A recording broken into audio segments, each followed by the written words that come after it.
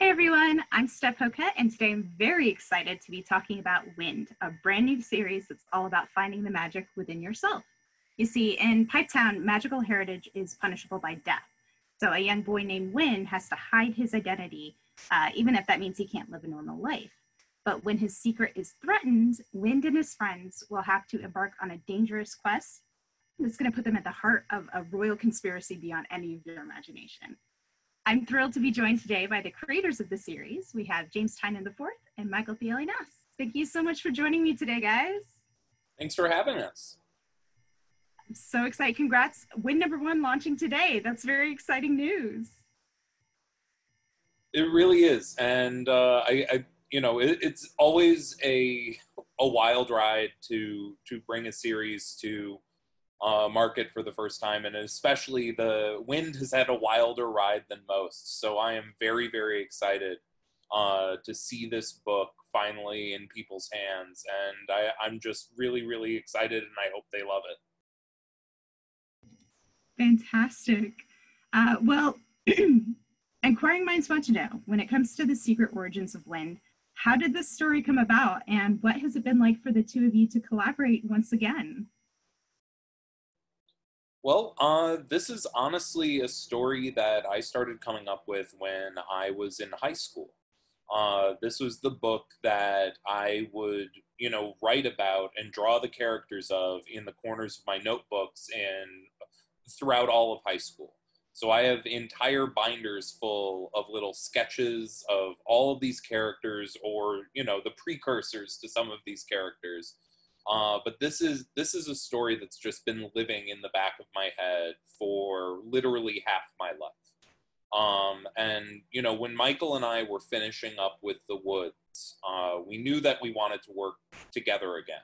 Uh, and you know, it, it, took a few years that for uh, for us to sort of settle on what the the the size of the story that we wanted to tell and and the feel of the book because you know the woods had been uh, a more uh, science fiction story. Uh, we wanted to do some and it was grounded a bit more in the real world. We wanted to do something a little different. And uh, i remember a few years ago i was out at a convention in greece and i and i pitched michael Wynd for the first time and laid out uh, the the world as I saw it in my head, and immediately we were going back and forth and you know some of the core elements of the series changed into what they are now uh, in those conversations. And really from that moment on we've been working on Wynd. Yeah we literally didn't do anything at that convention other than brainstorming. It was just sitting at the table just exchanging sketches all the time. And uh, james right now what was most of the the the world building aspect I remember correctly. Yeah, it was good. The um, but yeah, like I, I'm just happy to be able to draw something that doesn't have much uh, realistic, you know, aspects to it. I just wanted to go crazy for a bit, do some fantasy, do some unique world building that would just, you know, let me, you know, do do anything that I wanted. And James had the perfect script for me to work with. Fantastic. Let's dive into that a little bit. When it comes to the world building, uh, this takes place in Pipetown, which to me feels like just as much a character as any of the actual characters in the story. What were your influences for creating this world and its inhabitants? I mean, this was this was really the heart of a lot of the conversations we were having uh, at that convention in Greece. Uh, this was uh, because you know the we're we're talking about a society that has walled itself off from the natural world. Um, all all water comes through pipes and canals in the city. There's no natural waterways. There's no natural uh, wildlife either. There, we, this isn't a place where uh, you know even no there's no grass there are no trees like because any any bit of the magical world uh, any bit of the natural world uh, is a place where magic can grow. And uh, in this world, magic is something that can transform you. It's something that can taint your body and twist you into something monstrous, and that terrifies the people of Pipetown. Uh, so we we started talking about the sort of core feel of this of this city, and uh, Michael started coming up with some of the ideas of uh, how you know if there's no nature in the town, there would be murals of that show the natural world on the walls of the the city, and you know, and and also the idea that this would wouldn't be a sort of just a basic uh, you know fantasy medieval style fantasy town. We wanted it to have a much more robust like we wanted it to like we wanted it to be filled with pipes we wanted it to be something where the, the nature was so contained but it also gave us a bit of a steampunk vibe where we were able to sort of you know like all electricity everything uh, all power in this whole little kingdom is operated through uh, pipelines and steam power and all of that stuff. So it's just like it we the world started building around there and it started becoming a more unique fantasy world. Well, the um as James was saying, like the one of my one of the main drives, especially with with uh, Pipetown, was to steer away from anything cliche. So we didn't want steampunk to be the vibe because that would have been a very easy route to go and we've seen it a million times so i basically wanted to do the draw what you know and i used the, my hometown which i grew half my life uh, up in half my life i lived in this town in uh, crete it's an island between africa and greece so i use that as a basis as the feel of how the houses are just cobbled on top of each other like a small town, but also it's a it's the main city type feel. And especially with the roots, I wanted them to be like the the, the roots. Sorry, the the pipes would be the roots of the city. So if we ever got to do more shots of how buildings just so, suddenly turn into pipes as they turn as they reach the bottom that would be the feeling like pipes and then they the houses like growing out of them basically. Um, but yeah, but also I wanted to have that contemporary look of uh, give it a feel of now, like street art, um, small vendors. So it's basically a small town with lots of now elements, but also uh, Eastern European, but also steampunk. I don't know. I think that's the best way to. well, and I, I love how colorful it is too. It's not the slate gray of, like you were saying, James, like a European uh, medieval kingdom or anything like that. It's teal and, and orange and peach, and it's, I love the colors in this. It's fantastic. Um, another thing I really love is the fashion that we get to see. Uh, I'm personally a huge fan of Wynd's mini cape. I love it. I want one for myself. Uh, when it comes to the fashion, all of the characters do have sort of a unique look. What would you say that their clothes say about the character themselves? Um, let's see. All right, let's leave Wynd for last because Wynd has the things I just th- I just thought that would stand out better on a main character feel to him. Like I wanted him for him to have black. I wanted the star. I wanted basically all right, let's come back. Let's come back to this. His mini cape, in my mind, is night and day. Like the inside is like is the is is the daytime. On the inside, it gets blue, and the outside is, is night. So he's always covered in night because he doesn't know who he is yet. That was always my thoughts. I don't think I've ever told you this, James, but it's just something I was always just thinking while I was drawing it. Um, but yeah, I just wanted him to feel, you know, his tones or his pastel colors are all um, cool, cool colored because he doesn't feel like he needs to show himself more. I don't know. Um, He's like um, cloaking himself in the night. yeah, yeah, yeah. You're you're better that. than this. I mean, I can do the drawing parts. No, no, it comes across. I love that. okay. Um, Oakley is wearing her her work clothes, which I wanted to have those nice uh, earthy colors, pipe colors, copper, and uh, protective, um, protective, reflective what are they're called. That you know the Uh, the greens. security tape. Yeah. So that's basically her, her uh, setup for now. Very sturdy. Um, Yes. And who is with? Oh, Thorn.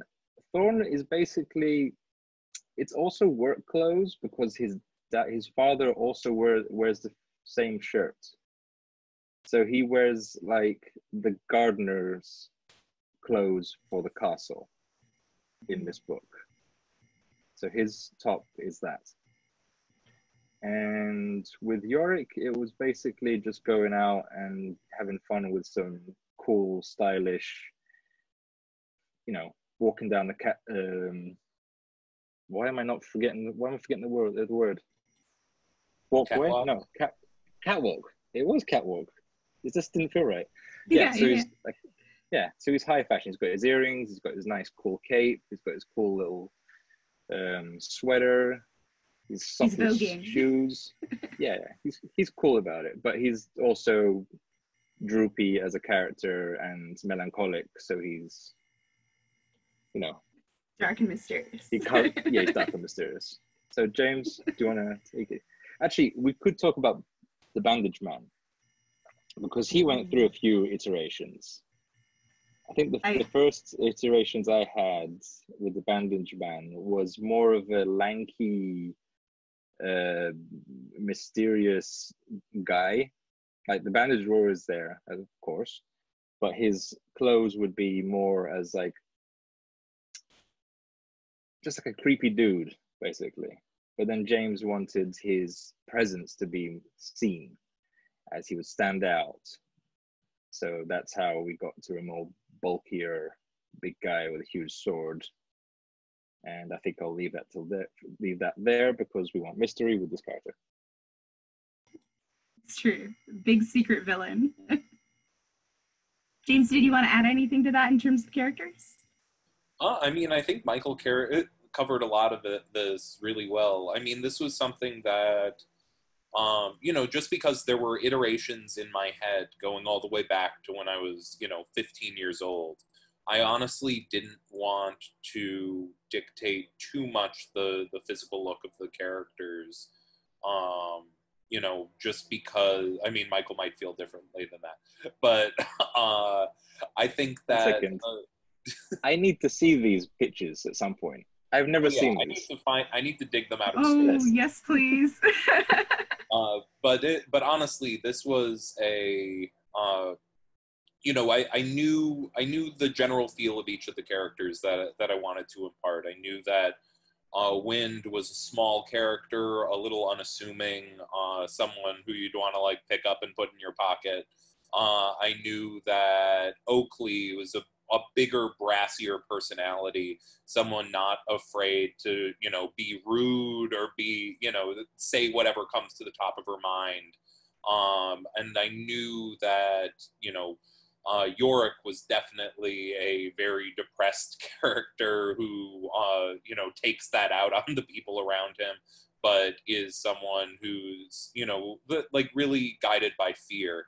Uh, and then Thorn is sort of like the big, you know, Great Dane of the cast. He is the like he's kind of the jock, but he's the his protective instincts, and I he wants to he wants to help everyone around him, and you know he doesn't fully he's not necessarily the smartest character, but he's also but he he means the most well. So it was something that I I knew the hearts of each of the characters that I wanted to impart, and then we started talking about it. And honestly, the the conversation about the size of the Bandage Man uh, also then factored into the size of Thorn himself, because you know Thorn is a big muscular character, but I we you know we needed to find the balance of you know this is still a teenager, uh, and we need like we needed the adults to still look like adults versus these teenage characters, and I think that that's part of why uh, Bandaged Man became a bit larger than life because he needed to be scary to each of them. It couldn't look like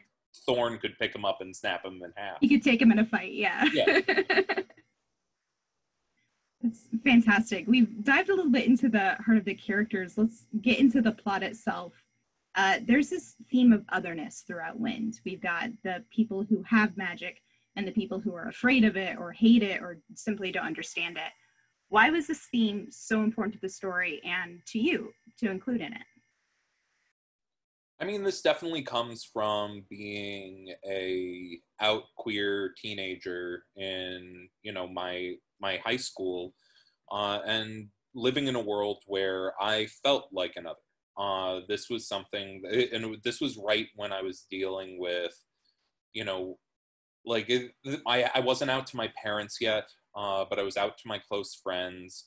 I wasn't sure what my future would look like. I didn't know, uh, you know, what my place in the world would be, and you know, and and fiction wasn't a great guide to that because the stories that I loved, I didn't see myself reflected in, uh, and that was something that was part of why I wanted to create my own stories, and I wanted to, you know, my my plan was it's just like okay i want to do a story in each of the main genres that i love as a 15 year old and i'm going to put myself in each of those stories and just because i those stories don't exist. So you know that's honestly still what i'm doing uh like as a as a my career path.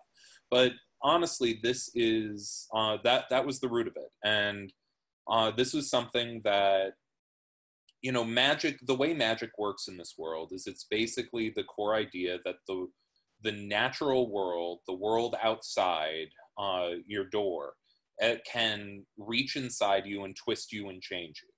And that is terrifying to people who have always kept the, the world out there but it's also the it's also just what happens as a natural course of growing up. You go out into the world and the world changes you and that's purely that's very natural. Everyone changes everyone grows. Uh, so the to really embody the that fear uh, of being changed and knowing there's something already a little different about you uh, and being afraid of going out into the world and letting and letting yourself become something that you aren't sure what that final state's going to be. Like that and that's part of why the, this the story starts in nightmare because Wynd is terrified of what is the end goal of all all of this magic in his blood. What will the adult Wynd look like? Will it be this horrifying monster who even his closest friends and the people he cares about can't even look at and that's something that i think that you know young queer people understand very well. And that's that is the heart of the of the book and of Wynd of the you know long form series that we're doing here. That's fantastic. Uh, michael did you want to add anything? I yield my time to james. Beautiful.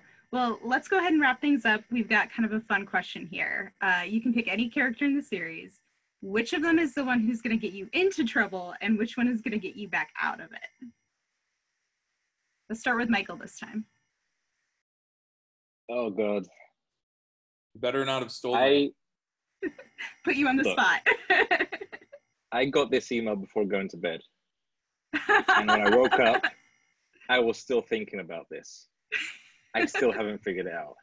You're just lying there thinking of it. it's like, who is it? Who's going to get me into trouble?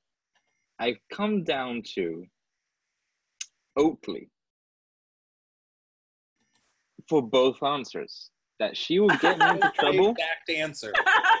really? okay, there you go. Oakley. She I... will get you into trouble, and she will help you out after. I, yeah, I guess no, it's, that, it's that is the heart of that character. Like Oakley is the you know the kind of big sister character who's going to make fun of you and push you and prod you into a place that you're uncomfortable with, and you're going to go out there and you're going to get in trouble. But also when things get really serious, she is going to put her serious face on and she's going to take care of business sounds like the best kind of friend to have. Someone you can do mischief, but also you got to be able to fix that mischief afterwards. That's fantastic. I'm, well, I'm super ahead. glad that we agree. yeah, absolutely. True collaborators here. well, thank you both so much for joining us today. Uh, everyone, you can pick up Wynd Number One in comic shops right now. It's in stores. Go get it. Uh, be sure to shop local, and thank you so much for joining me. Have a good one, guys.